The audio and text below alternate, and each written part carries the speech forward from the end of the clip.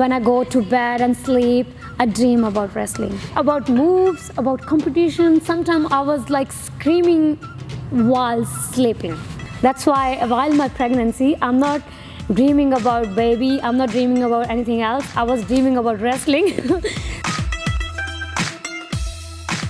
Off the mat, she's fairly reserved. On the mat though, she's very aggressive. She likes to win, she loves competing. Once I started like wrestling, I feel like this is like a really tough sport. And as a Punjabi girl, we always tough. Punjabi, they always like feel like they have hot blood, like they always ready to go, they always ready to fight.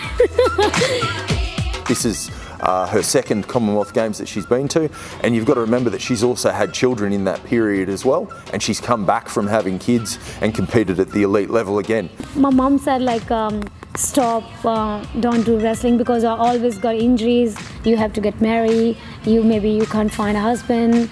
I said, mom, stop. And when I like won medals, and then my mom, she's the one who's telling to everyone like she she's got she got the medal she's winner she's my daughter and yeah she proud. At opening ceremony yeah. i was bit like i was literally crying and i was feeling like thanks to god like i've been here and representing australia.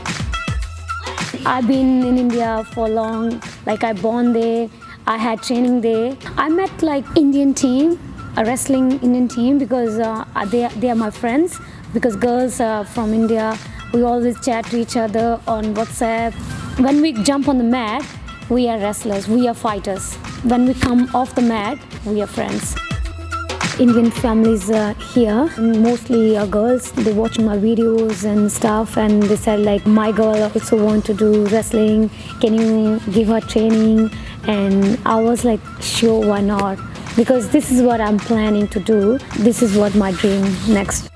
I'm getting ready for 2020. That's my big dream now.